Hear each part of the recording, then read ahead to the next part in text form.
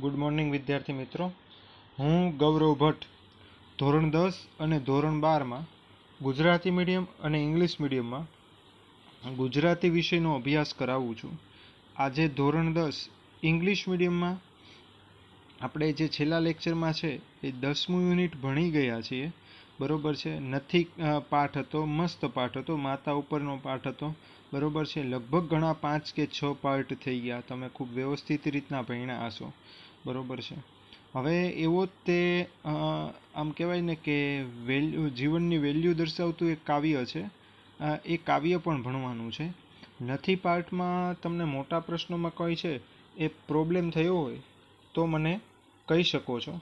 બરોબર છે? અને તમને એમાં કોઈ ન સમજાણું હોય અથવા મોટો પ્રશ્ન છે એ તમને ન સમજાણો હોય, તો પણ છે એ તમે મને જણાવી શકો છો. બીજી વાત કે આમાં છે એ આખા ટેક્સ્યુઅલમાં જો અગત્યના પાઠમાં આવતું હોય, તો પાંચમો પાઠ અગત્યનો છે, બરોબર છે? છઠ્ઠો, આઠમો, દસમો, બરાબર? ચાઇલા એમાંથી કહું છું, આટલા પાઠ અગત્યના છે. બરોબર છે, પાઠની વાત કરું છું, ચાયલા એમાંથી, હજી નથી ચાયલા, એમાંથી વાત નથી કરતો. આખી ટેક્સ્ટ બુકમાં બીજો તો બાકી છે તે, મને ખ્યાલ છે. પણ ચાયલા એમાંથી કહું છું તો કે પાંચમો અગત્યનો છે? છઠ્ઠા નહીં, પણ આઠમો આપણે ગણીએ. આઠમો અગત્યનો છે અને દસમો પાઠ અગત્યનો છે. આ બધા મોટા પ્રશ્નો માટે લોંગ ક્વેશ્ચન માટે છે એલક્યુ માટે ખાસ અગત્યના પાઠ છે. બરોબર છે, આપણે દસમા પાઠમાંથી છે જે જે એક માર્કના પ્રશ્નો નીકળી શકે એમ હતા એ બધા પ્રશ્નો છે, એની આપણે ચર્ચા કરી હતી. બરોબર છે, અને એમાંથી તમે મેં દરેક પાર્ટમાં છે દાખલા તરીકે લેખક પરિચય પૂરો થયો, પહેલો લેક્ચર પાર્ટ વન પૂરો થયો એટલે હોમવર્ક લખાયું હતું. પાર્ટ ટુ પૂરો થયો એટલે હોમવર્ક લખાયું હતું. પાર્ટ થ્રી પૂરો થયો એટલે હોમવર્ક લખાયું. એટલે દરેક હોમવર્ક લખી લખાવ્યા છે, એના જવાબ પણ તમે લખી નાખ્યા હશે. બરોબર છે?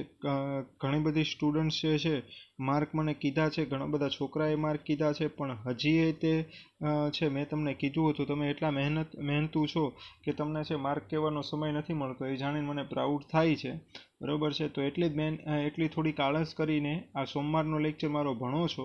બરોબર છે? ત્યારે કોમેન્ટમાં તમારું મીડિયમ તમારું નામ, બરોબર છે? અને માર્ક લખીને છે, એ મને જણાવશો. બરોબર છે? કારણ કે મારે પછી મંગળ કે બુધવારના લેક્ચરમાં છે એ થોડુંક એનાલિસિસ કરીને તમારી વિશે થોડીક વિગતો કેવી છે એટલા માટે. બરાબર છે? તો મહેરબાની કરીને મને એ માર્ક જણાવો તો વધારે સારું છે. બરાબર છે? અને તમે સતત છે આમાં ન સમજાય તો ત્યાં પૂછી લ્યો. પછી છે બીજા તમને કોઈ પ્રોબ્લેમ્સ હોય આમાં કે અત્યાર સુધીમાં ભણ્યા ત્યારે કોઈ પ્રોબ્લેમ હોય તો પણ તમે મને કહી શકો છો. બરાબર? બે ત્રણ છોકરાઓએ કીધું છે કે સાહેબ નિબંધનું ક્યાંક કરો? નિબંધ છે. એની વિશે ક્યાંક સમજાવો, કારણ કે નિબંધમાં શું લખવું એ જ નથી સમજાતું. બરોબર છે? તો પછી હવે વચ્ચે મને એવું લાગશે ત્યારે એકાદ લેક્ચર છે, હું નિબંધનો પણ છે એ બનાવીશ. બરોબર છે? તો ત્યારે આપણે નિબંધની પણ ચર્ચા છે એ કરી લેશું. પણ, તમે છે એ નિબંધ લખવાની ટેવ પાડો. હું હવે પછી છે, દરેક લેક્ચર પછી ક્યારેક છે, હું તમને અર્થ વિસ્તાર દઈશ. તો ક્યારેક છે નિબંધ લખવા દઈશ અને એની વિશે પહેલાં સમજાવી દઈશ કે આમાં તમે આવું લખી શકો, આ નિબંધમાં છે તમે આવું લખી શકો, આ અર્થ વિસ્તારમાં છે તમે આવું લખી શકો. બરોબર છે? એવી રીતના ચર્ચા કરાવીને તે છે. પછી તમને એ હોમવર્ક માટે લખવા દઈશ. જેથી કરીને તમે પણ તમારી ફેરબુકમાં લખતા રહ્યો એટલે તમને ટેવ પડતી રહે ને ટેવ પડતી રહે. બરોબર છે? તો છે એ પછી પરીક્ષા વખતે નિબંધ લખવામાં તકલીફ ન પડે. બીજી વાત એ કે ઘણી વખત મને સ્ટુડન્ટ્સ પૂછતા હોય છે કે સર તમે છે ત્રણ ત્રણ ચાર ચાર પેજ કે પાંચ પાંચ પેજના રીતે ઘણી વખત છે આર્ટિકલની લખી નાખો છો તો એ કેવી રીતના થઈ શકે?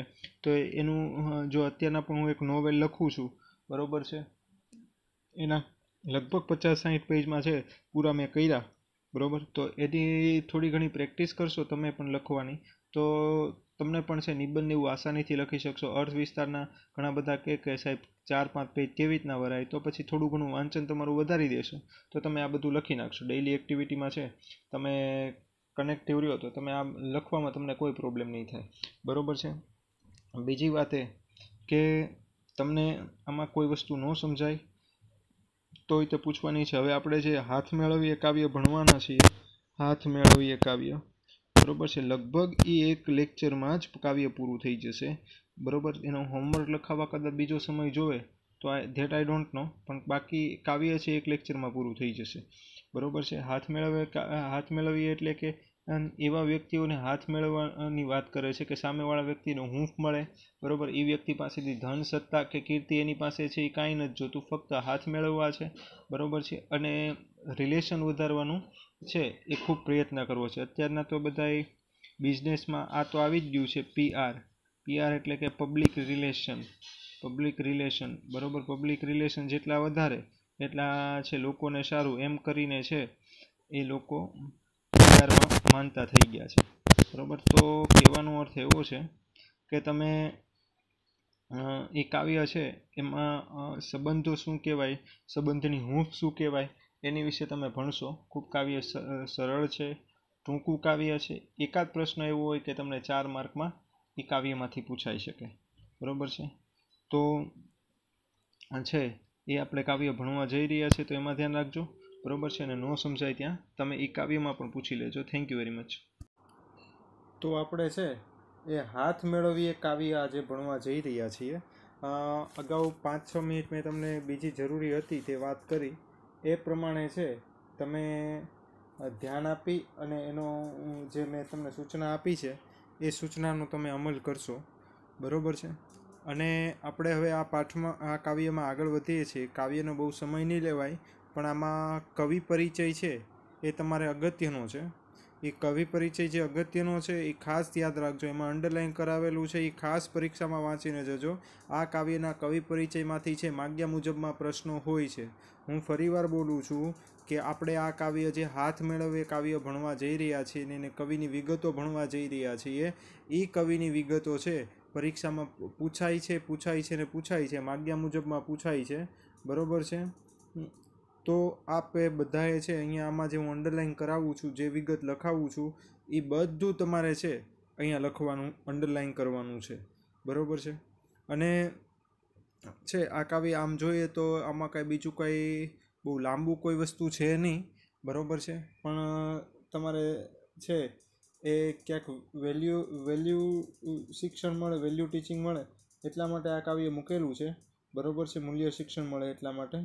તો આ કાવ્યને તમે જો માર્કની દ્રષ્ટિએ ગણતા હોય, તો માર્કની દ્રષ્ટિએ છે એક પ્રશ્ન એવો છે કે જ્યાં ચાર માર્કમાં પૂછાઈ શકે, બાકી એક માર્કના પ્રશ્નો છે. એક પ્રશ્ન એવો છે કે જે ચાર માર્કમાં પૂછાઈ શકે, બાકી એક માર્કના પ્રશ્નો છે, જે પૂછાવાની શક્યતા વધુ છે.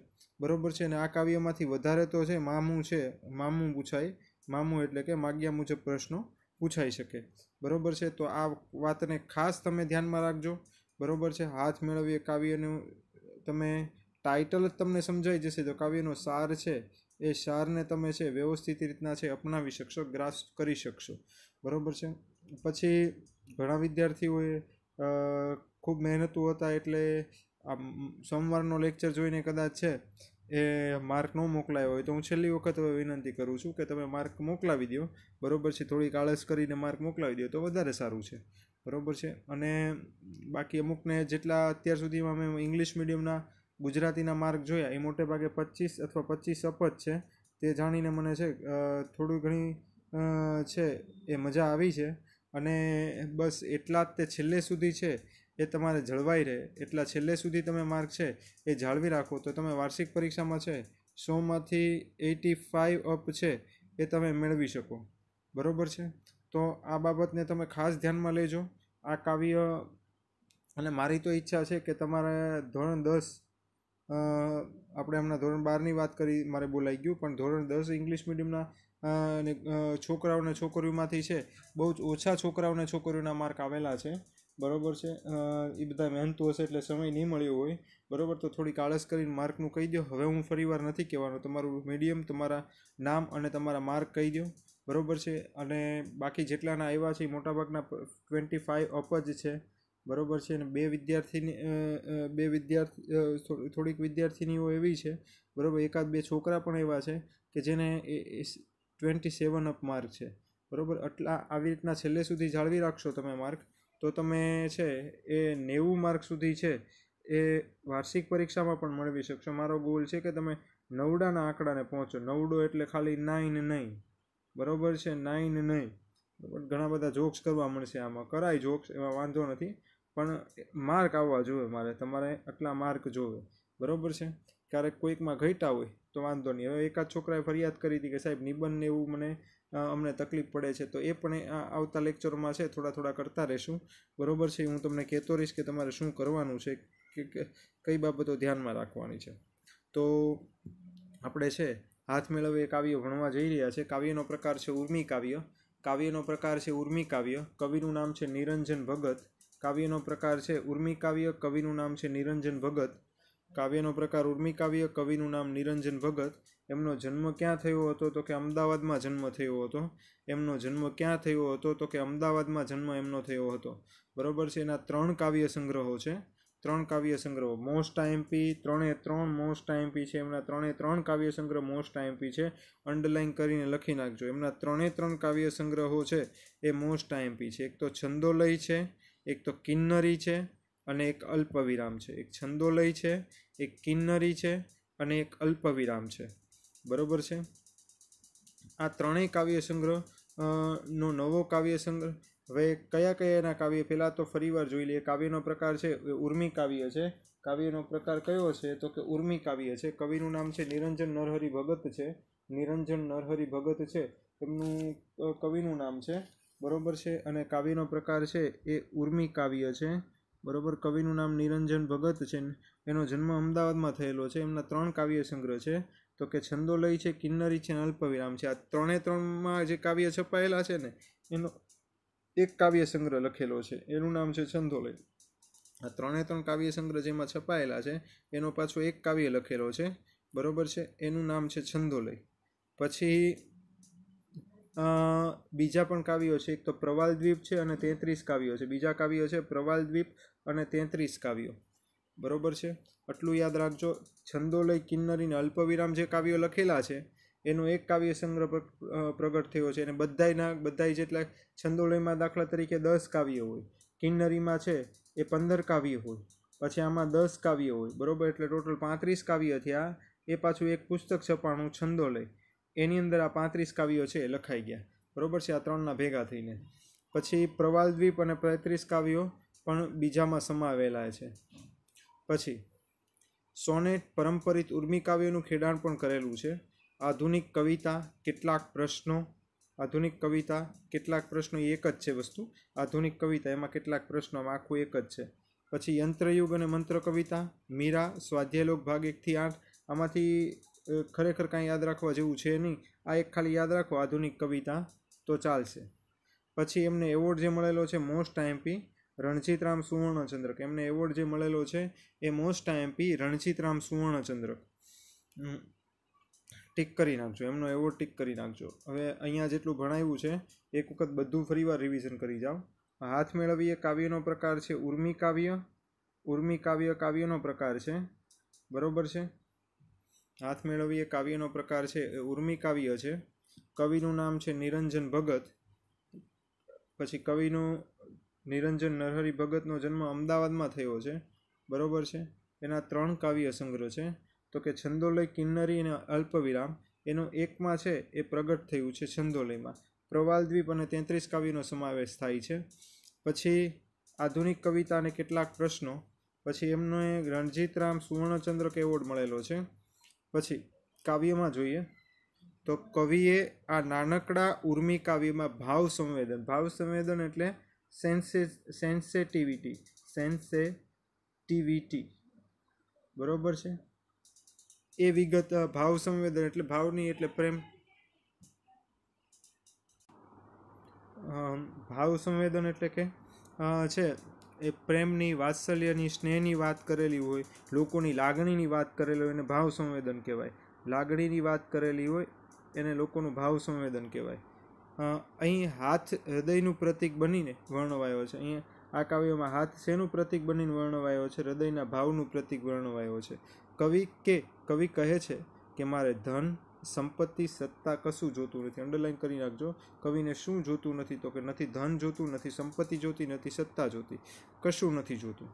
બસ મૈત્રી પણ શું જોઈએ છે તો કે મૈત્રીપૂર્ણ હાથ જોઈએ છે. ફ્રેન્ડલી ફ્રેન્ડલી હાથ જોઈએ છીએ હું હાથ લંબાવીને તમારા હૃદય સુધી પહોંચ લે કવિ છે, હાથ લંબાવીને ક્યાં સુધી પહોંચવા માંગે છે તો કે હૃદય સુધી પહોંચવા માંગે છે? અને સંવેદન બધું સરભર કરી આપે છે. તેમાંથી ભાવના કેળવવાનો કવિએ મનોરથ પ્રગટ કર્યો છે. મનોરથ એટલે ઈચ્છા. મનોરથ એટલે ઈચ્છા પ્રગટ કરી છે. તે હૃદય એક્ય સ્થાને છે. હૃદય વત્તા એક્ય એટલે હૃદય એક્ય કહેવાય. હૃદય વત્તા એક્ય અને હૃદય એક્ય કહેવાય.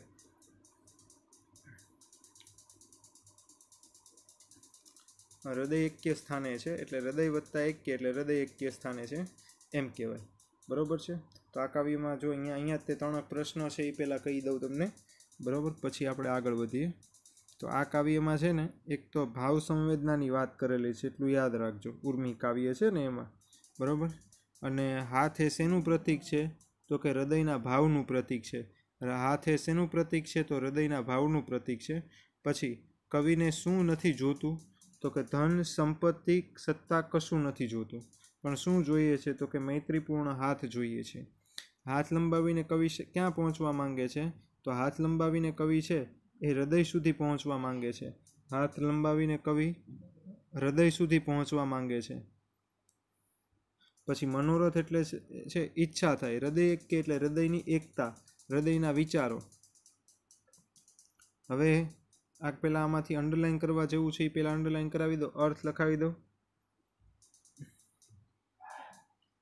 હાથ લંબાવો, હાથ લંબાવવો. એટલે કોઈની સાથે મિત્રતાની રૂઢિપ્રયોગમાં પૂછાય, હાથ લંબાવો. હાથ લંબાવો એટલે કોઈની સાથે મિત્રતાની પહેલ કરવી. હાથ લંબાવો એટલે કોઈની સાથે મિત્રતાની પહેલ કરવી. પછી, ધન એટલે રૂપિયા રૂપિયા સંપત્તિ અને દ્રવ્ય. ધન એટલે રૂપિયા, સંપત્તિ અને દ્રવ્ય.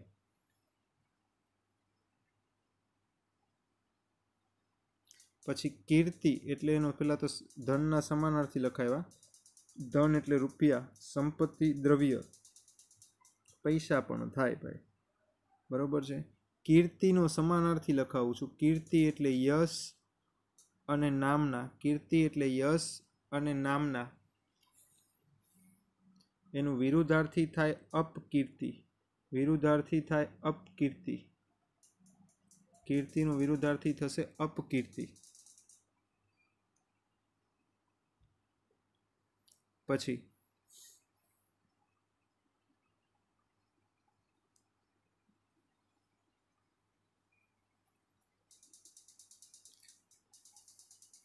પછી આ વાક્ય છે, વિરામ ચિહ્નમાં પૂછાઈ શકે, ટીક કરી નાખો. વિરામ ચિહ્નમાં આ વાક્ય છે, એ પૂછાઈ શકે. ટીક કરી નાખજો. મોસ્ટ આઈએમપી વિરામ ચિહ્નમાં, મોસ્ટ આઈએમપી પછી ઉષ્મા એટલે હૂંફ ઉષ్- ઉષ્મા એટલે હૂંફ, વાત્સલ્ય પ્રેમ. ઉષ્મા એટલે હૂંફ, વાત્સલ્ય પ્રેમ. પછી થડકો, એટલે થડકારો, ધબકારો.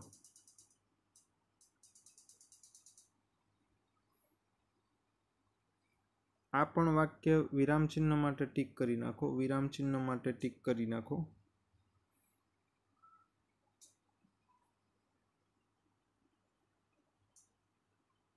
પછી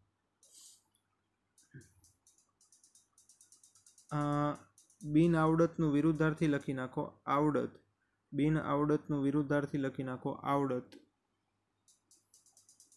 નઠારું એટલે ખરાબ ખરાબ, અનિષ્ટ. નઠારું એટલે ખરાબ, અનિષ્ટ અનિષ્ટ ઠની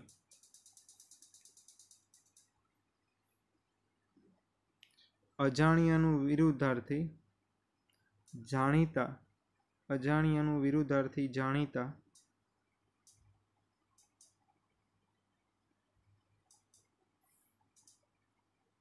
પછી કાવ્ય શેમાંથી લેવામાં આવ્યું છે? તો કે છંદોલયમાંથી લેવામાં આવ્યું છે. કાવ્ય શેમાંથી લેવામાં આવ્યું છે? તો કે છંદોલયમાંથી કાવ્ય લેવામાં આવ્યું છે. બરાબર છે? અને છે, આપણે મેં આમાંથી અંડરલાઈન કરીને જે વિરુદ્ધાર્થી લખાવ્યા સમાનાર્થી લખાવ્યા બરોબર છે? એક હજી બાકી છે, એ એમાંથી લખી નાખો.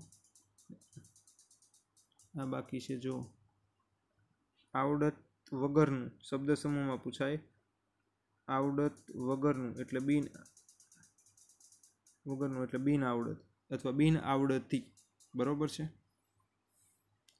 પછી આ વાક્ય પણ ટીક ત્રણ વાક્યમાં ટીક કરાવે વિરામ ચિહ્ન માટે. બરોબર? એક આ વિરામ ચિહ્ન માટે છે, એક આ વિરામ ચિહ્ન માટે છે અને આ છેલ્લું વિરામ ચિહ્ન માટે છે.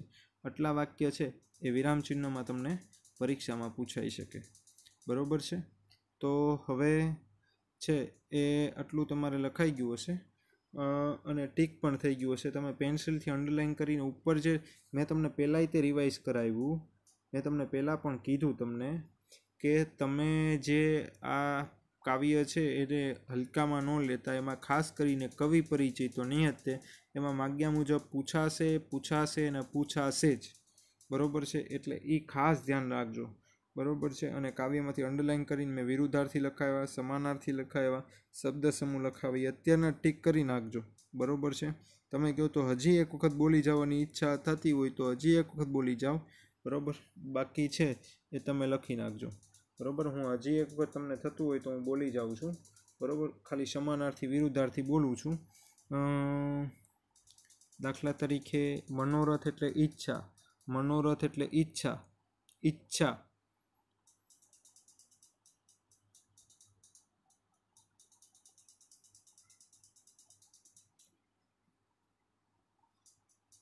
મનોરથ એટલે ઈચ્છા.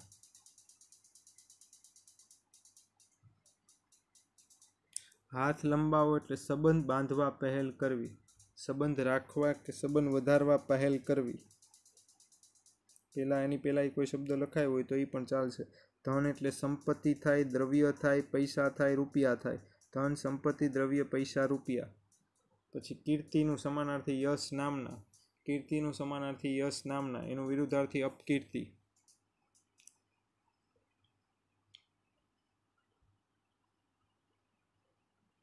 પછી આ વિરામ ચિહ્નમાં, આ પણ વિરામ ચિહ્નમાં. ઉષ્મા એટલે હૂંફ વાત્સલ્ય પ્રેમ, ઉષ્મા હૂંફ વાત્સલ્ય પ્રેમ, થડકો એટલે થડકારો. ધ્રુજારી પણ થાય, ધબકારો પણ થાય. આવડત વગરનું, એટલે બિન આવડતી અથવા બિન આવડત. બરોબર છે? અને એનું વિરુદ્ધાર્થી થાય આવડત. નઠારું એટલે ખરાબ થાય, એનું હજી સમાનાર્થી અનિષ્ટ થાય. અઠારનું સમાનાર્થી ખરાબ અને બીજું અનિષ્ટ થાય. બરોબર છે, અને હજી આગળ થાય સારું. બરોબર? પછી હમ. છેલ્લું વાક્ય પણ તમને છે વિરામચિહ્નમાં પૂછાય. કાવ્ય છંદોલયમાંથી લેવામાં આવેલું છે. હોમવર્કમાં પ્રશ્નો લખી નાખો તમે. હોમવર્કમાં પ્રશ્નો લખી નાખો. પહેલો પ્રશ્ન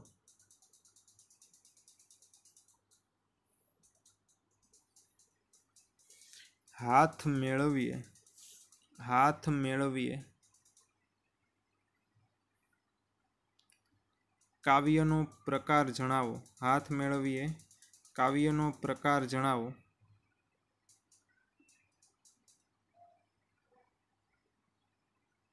પછી હાથ મેળવીએ. કાવ્યના હાથ મેળવીએ. કાવ્યના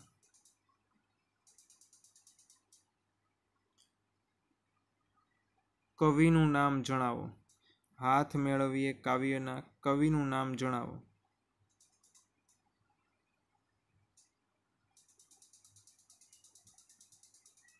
પછી, હાથ મેળવીએ કાવ્યના કવિનું. હાથ મેળવીએ કાવ્યના કવિનું. વતન જણાવો. હાથ મેળવીએ કાવ્યના કવિનું. વતન જણાવો.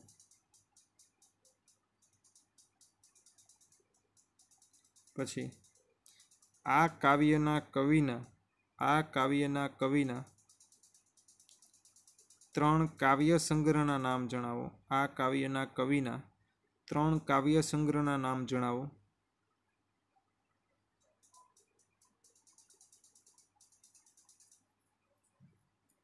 પછી, આ કાવ્યના કવિના ત્રણેય કાવ્ય સંગ્રહ, ત્રણેય કાવ્ય સંગ્રહ શેમાં પ્રગટ થયા છે?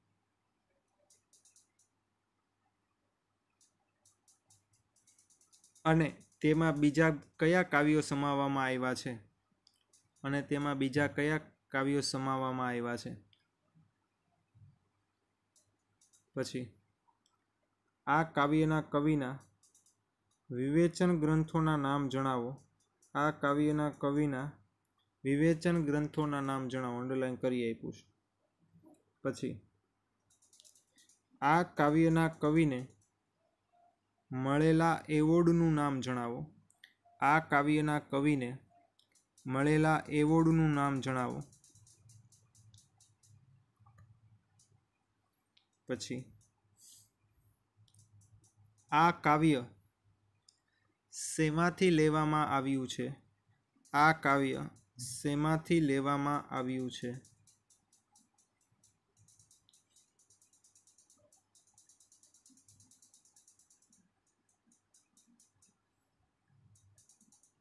પછી, આ કાવ્યમાં કવિએ શેને મહત્વ આપ્યું છે? આ કાવ્યમાં કવિએ શેને મહત્વ આપ્યું છે? તો સ્ટુડન્ટ્સ હાથ મેળવીએ કાવ્યનો, ધારતા હતા કે એક એક પાર્ટમાં પૂરું થઈ જશે, પણ થયું નથી. હાથ મેળવીએ કાવ્યનો. Part one. અહીંયા પૂરો થાય છે. બરાબર? એમાં કવિ પરિચય મેં તમને ભણાવ્યો છે. કવિ પરિચય ભણાવ્યો. અને સાથે સાથે કાવ્યમાં જે જે પૂછાવાલાયક વિરુદ્ધાર્થી છે, સમાનાર્થી છે એ બધું લખાવી દીધું છે. બરાબર? એમાં પણ તમને કોઈ ડાઉટ હોય તો મને પૂછી શકો છો. પણ મેં ખાસ કરીને જે વિરામચિહ્નના વાક્ય ટીક કરાવ્યા એ જોઈ લેજો. આ કાવ્ય એવું છે કે એમાંથી કાવ્યમાંથી વિરામચિહ્ન પૂછાઈ શકે. અને બીજું, કવિ પરિચય તો ખાસ વાંચજો હું ત્રીજી ચોથી વખત બોલ્યો છું. કારણ કે મામુમાં એમાં પ્રશ્ન હશે. મામુ મીન્સ માગ્યા મુજબમાં એના પ્રશ્નો હશે. એટલે કવિ પરિચય ખાસ વાંચજો. બરોબર છે? પાર્ટ વન અહીંયા પૂરો કરીએ છીએ ને તમને ખબર છે, હવે પાર્ટ ટુ છે, હવે પછીના લેક્ચરમાં પૂરો થઈ જ જશે. Thank you very much thank you